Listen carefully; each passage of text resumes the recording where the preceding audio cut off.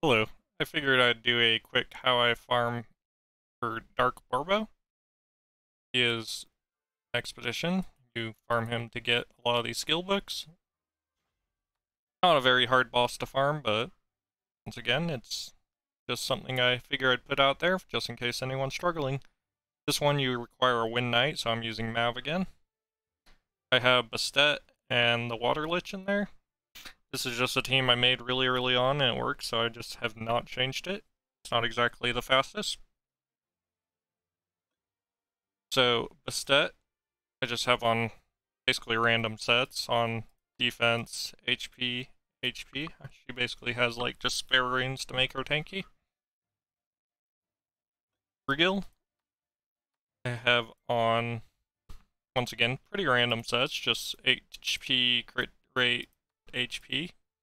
Got literally bottom of the barrel runes from me, so as long as he survives and works, I'm happy with him. And then Mav is on HP, HP, HP. Once again, just runes I don't really use. Let's see how this goes.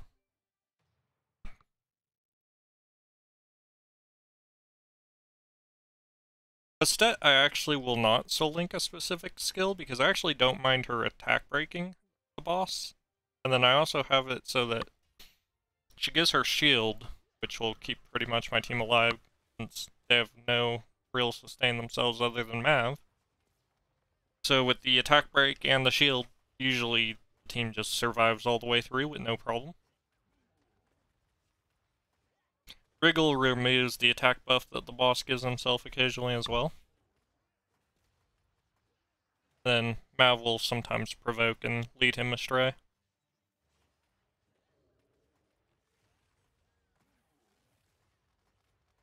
Right there, it's like the Bastet shield and the attack break, it pretty much kept my team from dying.